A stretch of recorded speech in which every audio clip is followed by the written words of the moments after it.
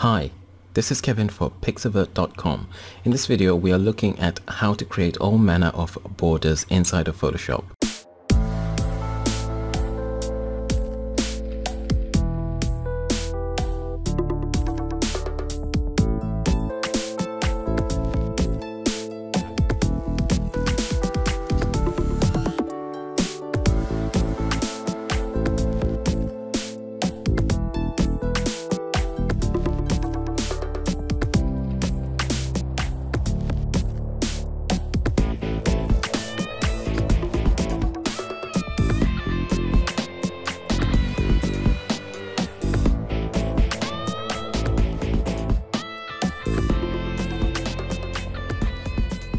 Using Photoshop CC 2018 and we've got a lot to go through so let's get going. The first thing I'm going to do is to create a Polaroid border and this is going to involve turning this landscape image into a square format image. We're going to do that using the crop tool so I'm going to select the crop tool and I'm going to choose one to one square as my preset I'm going to just move this to center the image and I'm going to hit OK. Next I'm going to open up the layer panel by clicking on the lock icon and then creating a new layer called solid color and we'll make that white. We'll drag that to be the background underneath the photograph. Going back to the crop tool I'm going to click inside the image and holding down alt I'm going to expand the image. This gives us a nice white border. And just zooming out a little bit I'm going to click again and drag out a somewhat longer border at the bottom. But as you can see that doesn't quite work. So I'm going to undo that choose clear for the ratio and then escape click again and then we're going to drag out the lower border this gives us a nice Polaroid style finish to our image. Okay, we've got the retro out of the way. Let's go and look at something a little bit more traditional. We're going to add a nice soft border to this image. Again, I'm going to unlock the image. I'm going to create a solid color, make that white, and drag that behind the image. Using the elliptical marquee tool, I'm going to drag out a circle. Just center that somewhat. And then I'm going to go to the image and click on the layer mask icon. That gives us a nice layer mask. We can now go to the properties panel and give that a nice blur. That gives us a nice soft looking fade. We can if we want to double click on the lower layer make that black, go to the layer mask, and then reduce the density, and that gives us something like a traditional vignette. I'm going to delete the layer mask, and I'm going to go to uh, filter, and I'm going to choose convert for smart filters, and I'm going to apply camera raw filter. We'll go to FX go down to post crop vignetting and drop this a little bit. Then we'll hit OK. And we've now got a really subtle looking, authentic looking vignette. You can double click to open up the settings there and you can lower the opacity of the effect if you want to. So that's a couple of ways of creating a vignette.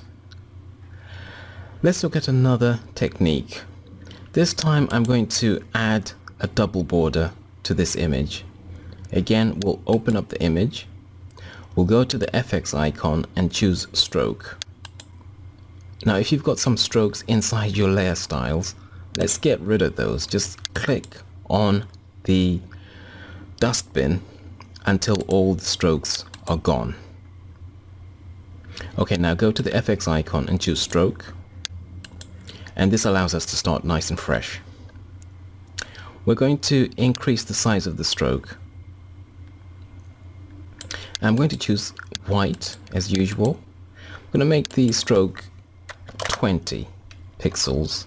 We're going to choose inside normal opacity of 100 and I'm going to make sure that overprint is not selected. Then I'm going to hit on the plus icon next to the stroke and that will create two copies of our stroke. We'll leave the top one and go to the second one and increase the size of that one to 30 pixels. Leave it at inside normal, turn the opacity down to zero. Then we'll go to the bottom layer or the bottom stroke and choose a size maybe one or two pixels larger than the second stroke. So I'm choosing 31. We'll leave the position inside blend normal opacity 100 overprint switched off and we're done. Now you might see that there is something of a problem there. So to fix that we'll just duplicate the layer by hitting Ctrl or Command J. Go to the lower layer, right click and choose Clear Layer Styles. Alternatively, you can just drag the layer icon, layer styles icon down to the bin. And that gives us our double border effect with a nice margin line to add a little bit of elegance to our image. And finally, we're going to create something a little bit different.